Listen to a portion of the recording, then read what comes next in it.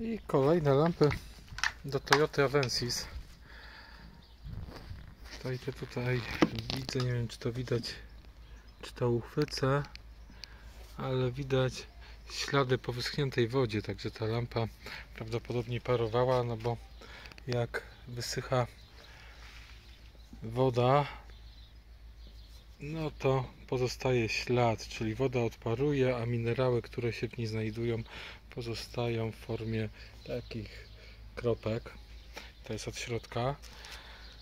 No i jeżeli chodzi o te światłowody, no to nawet bez rozbierania widać, że są na tyle przetopione, że aż tutaj zrobiło się brązowe zamiast jasne, no to widać brązowy kolor. Ale aby się o tym przekonać tak naprawdę w czym, ten, w czym e, tkwi problem, musimy te lampy rozebrać, wtedy będziemy mieli dostęp do każdego elementu takiej lampy i będziemy mogli ocenić każdy element oddzielnie. No, tutaj chcę Wam pokazać, że udało się lampę rozkleić. Znaczy, udało się. Wiadomo, że się udało. Chcę Wam pokazać, jak to e, e, wygląda po rozklejeniu, czyli e, klosz jest w całości, obudowa też jest cała.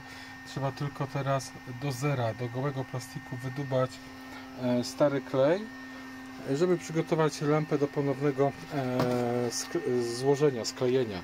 Ale teraz po rozklejeniu mamy dostęp do tych wszystkich elementów w środku, także zaczynam e, lampę rozbierać na poszczególne części. E, zrobimy oględziny i lustra soczewki, bo o to, bo o to prosił również właściciel lamp. Sprawdzimy dlaczego nie świecą światłowody wymienimy uszkodzone elementy i składamy lampę e, ponownie tak aby świeciła jak nowa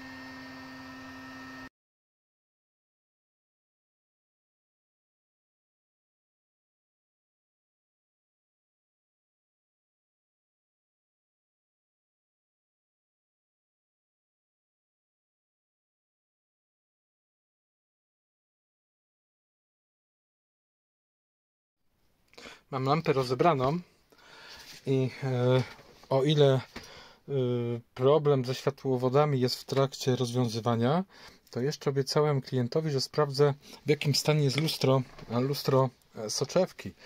E, I pamiętam jak jakieś 6-7 lat temu robiłem pierwsze testy tego projektora. Byłem nim zafascynowany i wtedy mówiłem, że mam wrażenie, że ten projektor ma żywotność równą żywotności auta. Jest tak dobrze chłodzony, wentylowany, że tak naprawdę mm, temperatura tutaj pracy jest przyjemna i miła w dotyku i mm, przy tym chłodzeniu nie ma możliwości wypalić lustro, a teraz po mm, te auto jest z 2016 roku, mamy 24, także słuchajcie, po 8 latach działania i jeżdżenia na aucie sprawdzimy jak to lustro wygląda. I faktycznie zobaczcie zero zużycia jest jak nowe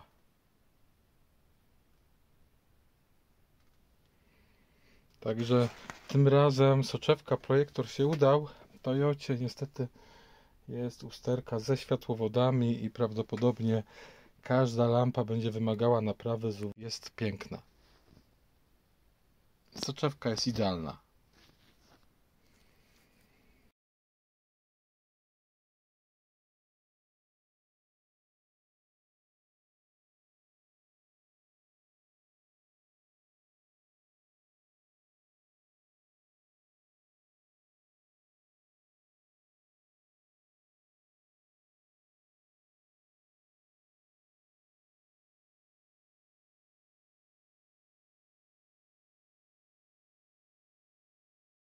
Właśnie jestem po testach, także nowy światłowód z modułami pięknie działa. E, I oprócz samego światłowodu i modułu LED postanowiłem również wymienić ten stelaż, który tutaj, ten z lampy, widzicie jak jest przytopiony. Yy, Po zamontowaniu nowego światłowodu yy, widać takie brzydkie, nieestetyczne yy, przypalenie. Samo gniazdo jeszcze mm, ujdzie, chociaż jest tam ślad przytopienia. No ale te tutaj spalona powłoka aluminium, to sreberko strasznie szpeciło tą lampę, także postan- postanowiłem jeszcze e, wymienić ten stelaż, tym bardziej, że to jest 50 zł różnicy w cenie. Głupotą byłoby zostawiać taką brzydką ramkę. Także będzie nowa ramka, nowy światłowód, nowy moduł LED i za chwileczkę lampę będę składał. No i druga lampa w tej chwili jest testowana, sprawdzane czy, e, wszystkie e, moduły, czy wszystko działa prawidłowo. E, mamy wymieniony światłowód, moduł LED, także no, sam, same światło DRL i postojowe no, świeci, świeci jak nowe. E, lustro, soczewki sprawdzone, nie ma żadnych oznak zużycia, także po złożeniu lampa na pewno będzie świeciła jak nowa.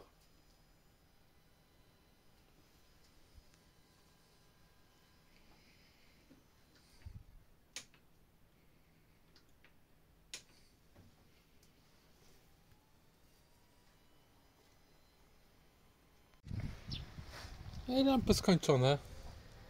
Tak to sobie wygląda po złożeniu.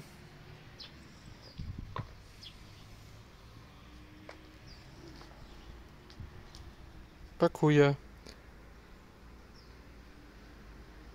Adresuję i wysyłam.